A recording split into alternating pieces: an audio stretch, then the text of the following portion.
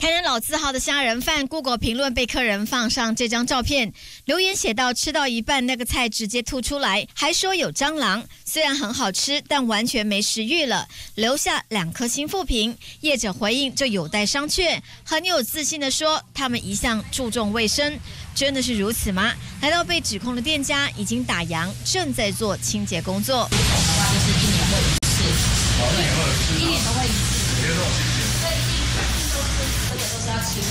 水沟都是干净的。店家对店里环境清洁很有自信，接着拿出提味的食材油葱酥。他说油葱酥和肉燥和在一起之后，样子与网络复评照片里的咖啡色异物有点相似。这就肉燥嘛，你看它的油葱就在这种，让它散掉就是会很像散掉的那种尸体啊。店家希望留富平的客人可以跟他们联系，厘清真相。台南市卫生局将在营业时间派员稽查，如果有缺失，也将要求业者限期改善。